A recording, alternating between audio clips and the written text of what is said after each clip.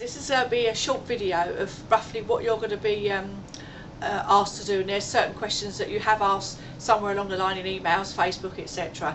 Some people have had this booklet where it has uh, some instructions on there. Now, I will fire over some of these if anybody wishes to ask them, but basically it just tells you where you're going to park. Majority would have had these ones, which it tells you in here as well. These little boxes coordinates with the boxes that are on the actual road itself per group. This will change uh, on the day because we have moved everybody around. Um, on here, everybody has to abide by the assembly routes um, uh, to arrive at the, at the arena designated spot. No, not before nine o'clock. Um, everybody's got to report to Andy along as you're coming down towards the car parking here and he will allocate you. Now the parking is really, really tight. Um, you will be allocated to wherever he tells you to go, but you have to butt up. So any trailers that have got a rear load, the, the, the next preceding car has to butt up to that back end of that trailer and drop down at either side. We are allowed to bump up on a curb, but just around here there is a fire exit we are not allowed to block. Um, and the road here, Mayfair Place, we're not allowed to block. Now my carriage driver is going to be allocated here, so he's got plenty of room to drop the carriage. Um, and everybody else will be allocated. and you'll be appointed here. My my lorry will be parked there once everybody's got in, as we've got a few seven and a half tonners. Um, also, we've got toilets very in located like here, Caffè Nero. The Mayfair Hotel is quite obliging as well.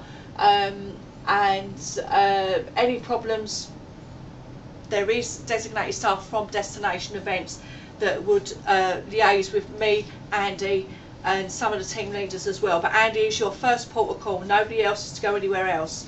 Um, kick-off kicks off at 12. Um, we do have a set order of um, of who's going where. Now nobody is um, to be uh, mounted up unless they're told to do so. But first off, uh, on number one, we've got horses that have travelled more than three hours. They have top priority to be uh, taken down, walked and stretched their legs along the Piccadilly bit before it gets busy and walked around. Um, so they loosen up a little bit and then go back. There will be a group meeting at 9.45 at the corner here. Now everybody has to attend.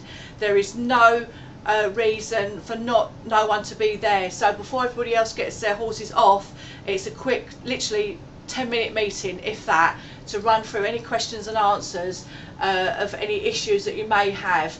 Now we do have a, uh, a, a vet on call, and a, a lady's name is um, Hannah, and she's got two vet nurses as well.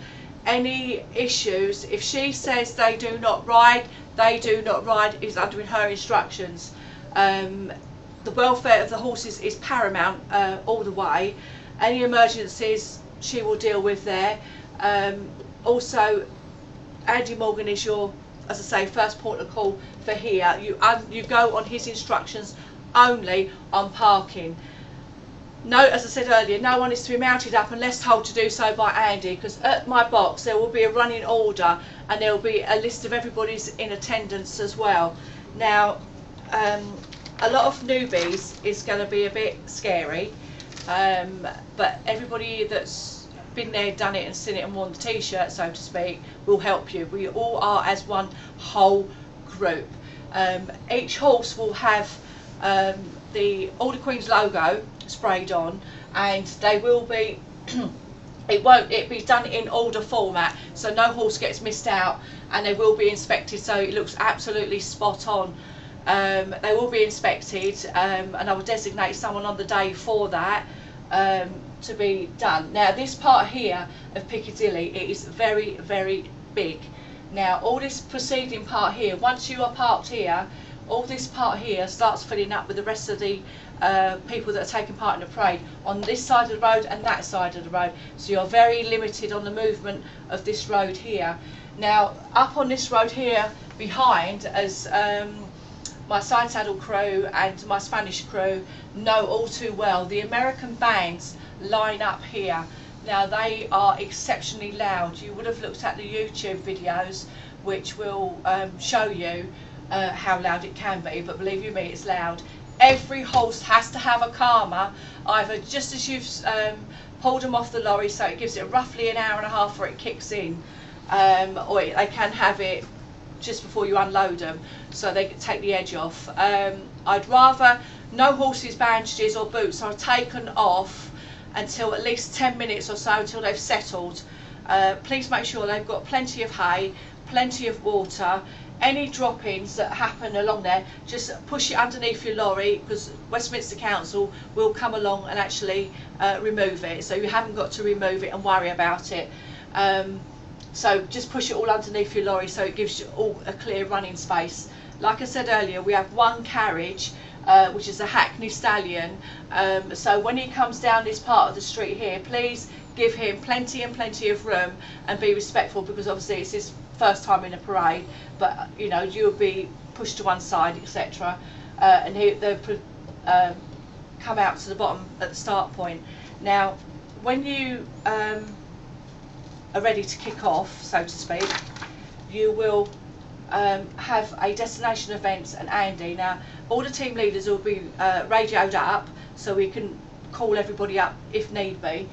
Um, what I will say, once the parade has started along the route, there is no turning back, there is no getting out unless there is an absolute emergency and there's designated points along the route to do so.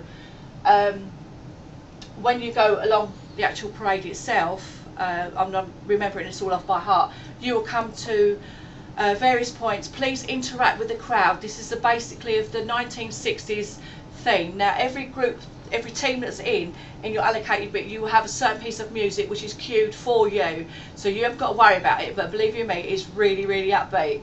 Um, uh, interact with the crowd as you're going along. People like people friendly horses. Just pop your noses over. Do smile and greet. My St Trinian's mob. Do your absolutely wildest, crazy belles of St Trinian's, or in other words, bells of Burstow. So it's it's up to you to reenact it. Black Beauty is very stylish, very um, to the book. National Velvet is to the book.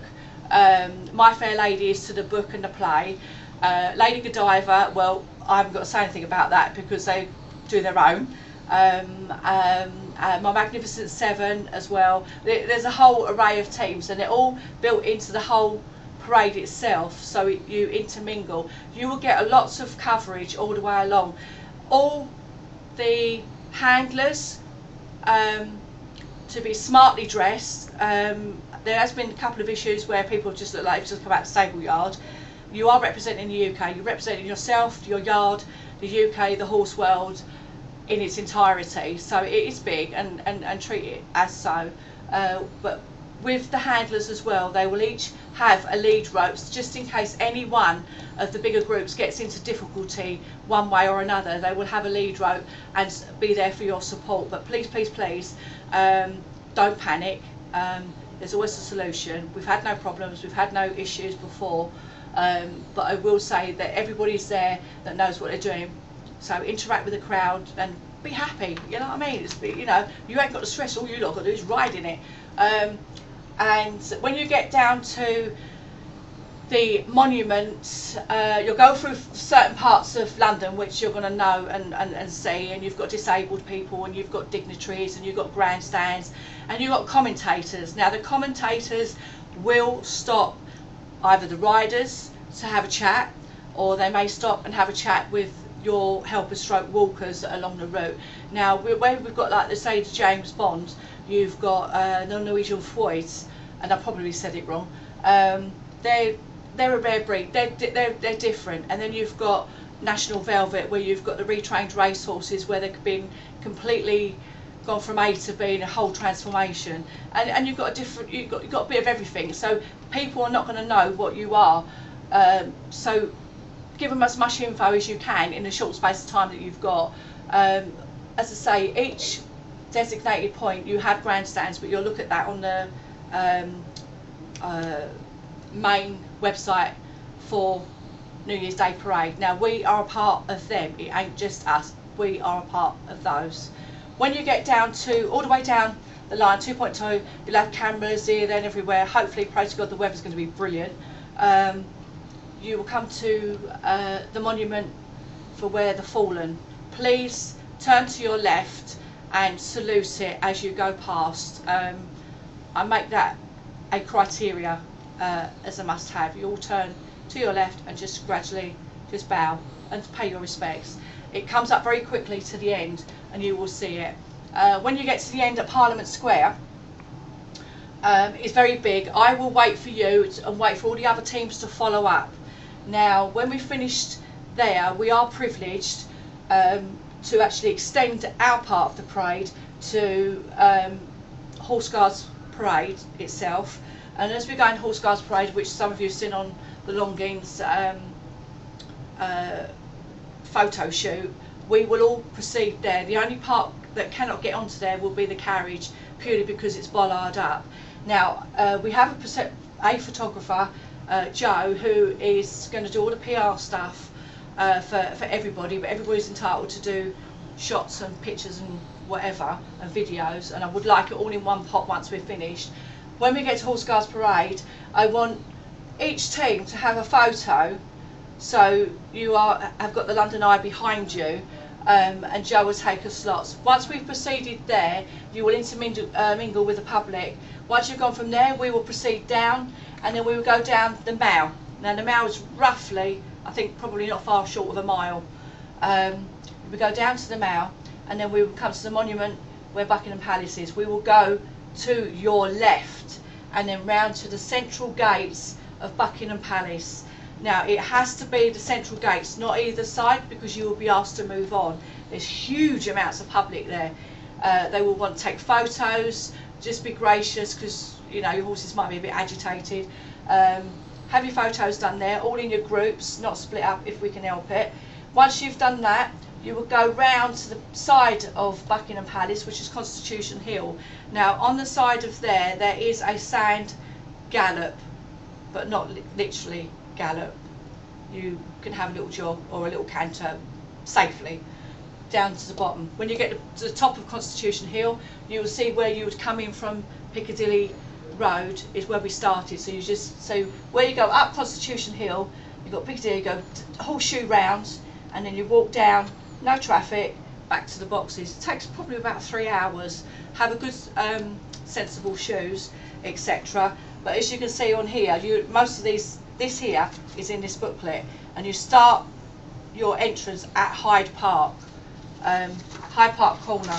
I hope um, everything's been sort of covered and I will pass you on to Andy for the health and safety side of it.